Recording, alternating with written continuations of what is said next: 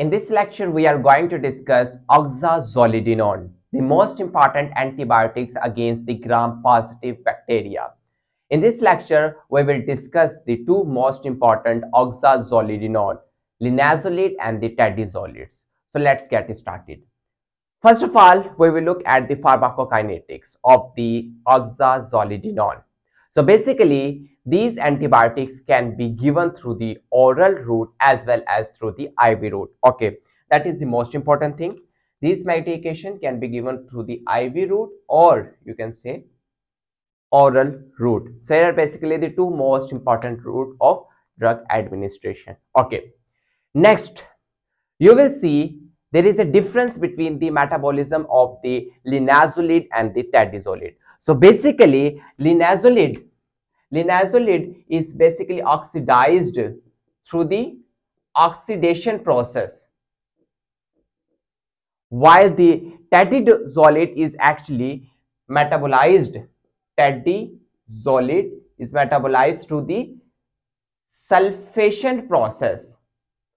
That is the important thing about the mechanism of the two most important drugs linezolid and the tedizolid but the linezolid is basically excreted through the renal as well as non-renal sources.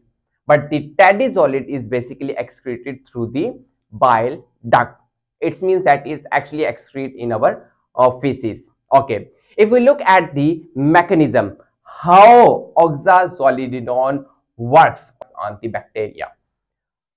So first of all oxazolidinone will act on the ribosome okay. First of all we will see the different composition of the ribosome. Bacterial ribosome. Okay. So basically bacterial ribosome has two component 50s ribosomal unit and the 30s ribosomal unit. Okay. And you can also see the ribosome is basically made up of two component first one is the protein and second thing is the ribosomal RNA. These are basically the two most important component of the ribosome. Okay, if someone takes the oxazolidinone like the linezolid and the tedizolid, okay, this antibiotic will act on the ribosomal RNA, specifically 23S ribosome as for sedimentation rate we actually we categorize the different components of the ribosome on the basis of the sedimentation. Okay. So basically ribosomal rna of the 50s subunit having 20s sedimentation rate. Okay. So basically when the oxazolidinone bind to the ribosomal rna it actually block the initiation complex formation for the protein synthesis so initiation complex you will see the 50s ribosomal subunit, 30s ribosomal unit, and in between them you will see the presence of the messenger RNA. That is actually the initiation complex for the protein synthesis. Okay, and ultimately you will see the formations of the protein. But when the oxazolidinone bind to the ribosomal RNA, then it actually block the formation of the initiation complex. When there is no initiation complex, then there is no protein synthesis and ultimately they show the bacteriostatic effect. But for some species, linezolid can be bactericidal like the streptococcus species. Okay. If we look at the resistance, so basically if the bacteria develop resistance in the 50S ribosomal unit, then the oxazolidinone can't bind to the 50S subunit. When there is no binding, then there is no effect of the antibiotic. So that is the alteration or the modification, modification in the binding site.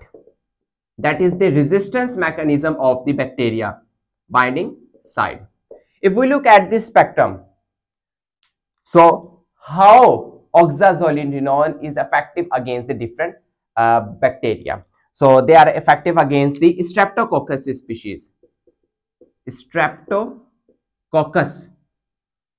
And most importantly, they are good for the penicillin resistance Streptococcus pneumoniae. Okay. And they can also be used for the staphylococcus and most importantly they are good for the MRSA methicillin resistant staphylococcus aureus and you can also see the enterococcus species and they are also good for the vancomycin resistance and enterococcus VRE. So basically oxazolidinone linezolid is good for the resistant species of the bacteria and it can also be used for the TB Mycobacterium tuberculosis as well. So that basically the antimicrobial spectrum of the oxazolidinone. If we look at the adverse effects, so first one you will see the GIT disturbance, GIT upset. You will see the in which you will see the nausea, vomiting, and the diarrhea. Okay, next you will see the rash on the skin. Here is the second adverse effects of the oxazolidinone. And third one you will see the headache. Headache is another important adverse effects of the oxazolidinone. And you can also see the thrombocytopenia. Thrombocytopenia, low platelets count. And you will see the low platelets count in the CBC report. In the CBC report, you will see the, all the blood counts like the RBCs, WBCs and the platelets and you can easily see the low platelets count in the CBC report. And last most important, you will see the serotonin syndrome. Syndrome. That is the most important. If the patient is taking the oxazolidinone along with the other uh, drugs like the selective serotonin reuptake inhibitors and the monoamine oxidase inhibitors or foods that contain high amount of the tyramine like the cheese, hot dogs and the fava beans. So ultimately you will see the serotonin syndrome or you can say serotonin toxicity. So basically serotonin is actually a neurotransmitter and ultimately, due to the increase in the levels of the serotonin, you will see the three most important symptoms. First one is the altered mental status, in which you will see the agitations and the pressured speech. And second most important symptoms you will see in the serotonin syndrome will be the autonomic dysfunction. It means that autonomic nervous system is not working properly and you will ultimately see the different symptoms like the tachycardia, diaphoresis, and the diarrhea. And third most important symptoms you will see in the syndrome will be the neuromuscular excitation, in which you will see the most importantly clonus, tremor, and the seizures. So this is all about the oxazolidinone, the most importantly linezolid and the tedizolid. If you still have any question, you may ask in the comment section. Thank you so much.